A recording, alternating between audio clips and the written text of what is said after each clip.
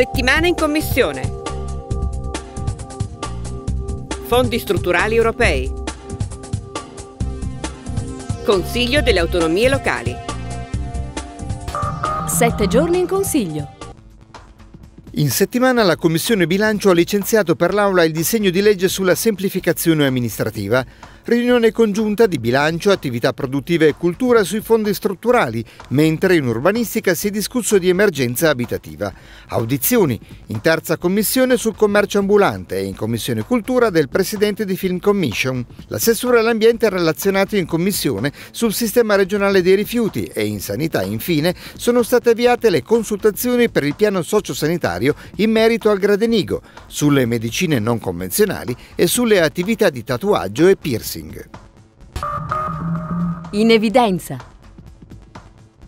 Si è tenuta al centro congressi del Lingotto la cerimonia di inaugurazione dell'anno sportivo piemontese 2015.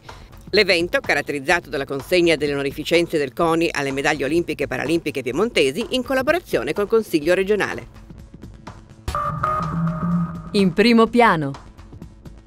Le commissioni bilancio, attività produttive e cultura si sono riunite in seduta congiunta per l'illustrazione da parte della Giunta dell'aggiornamento della programmazione regionale dei fondi strutturali europei, con particolare riferimento al POR FSE. Grazie al programma operativo regionale, cofinanziato dal Fondo Sociale Europeo, la Regione Piemonte gestirà quasi un miliardo di euro per investimenti in favore della crescita e dell'occupazione fino a tutto il 2023.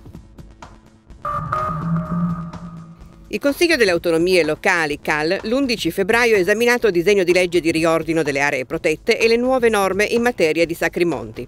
I rappresentanti degli enti locali piemontesi hanno poi affrontato il tema della legge nazionale di stabilità, con riferimento alle problematiche legate alle risorse assegnate alle province per l'esercizio delle funzioni. In breve. Si è svolta a Palazzo Lascaris la presentazione del concorso per le scuole e della campagna di comunicazione Fate il nostro gioco.